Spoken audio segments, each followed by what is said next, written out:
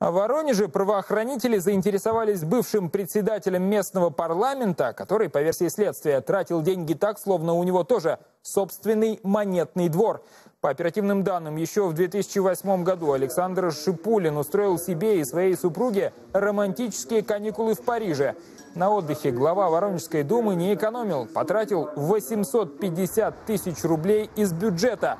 При этом цель поездки называлась весьма официальная якобы для участия в семинарских занятиях по устройству административной власти во Франции, а фактически, э, проведя там свой досуг э, и в полной мере реализовав экскурсионную программу за счет э, средств местного городского бюджета.